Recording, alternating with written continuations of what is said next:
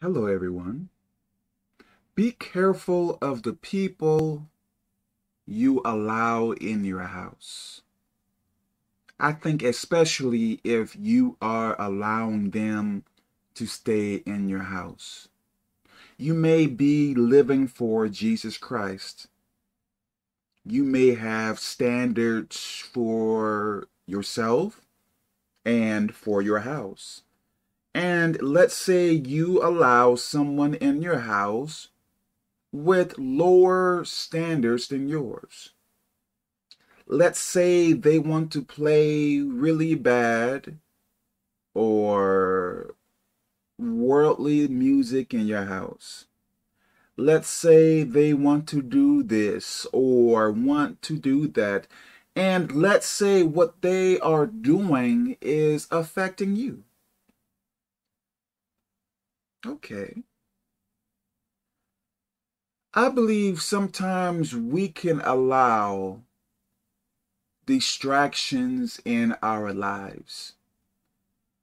The distraction may seem as, from the initial view, the distraction may seem like a good thing, but in the end, I believe it can make you go astray.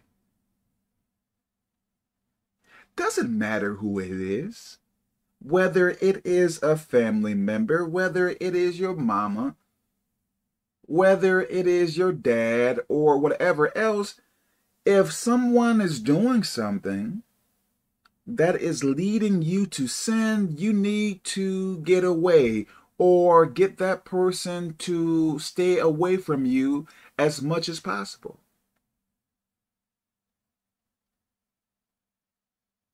I believe every situation is not the same, and sometimes we, I believe sometimes we may be the problem.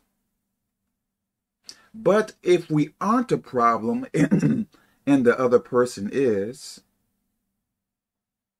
we need to be mindful of that. We need to take steps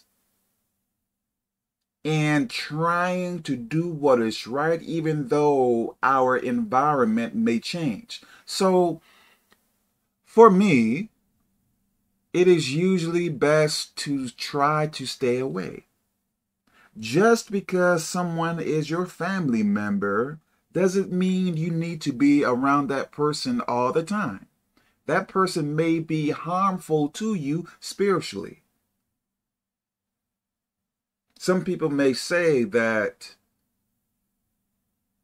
a family tree bends but don't break. So I guess bending can mean, you know, family can argue, fight, blah, blah, blah, blah, but they never break up.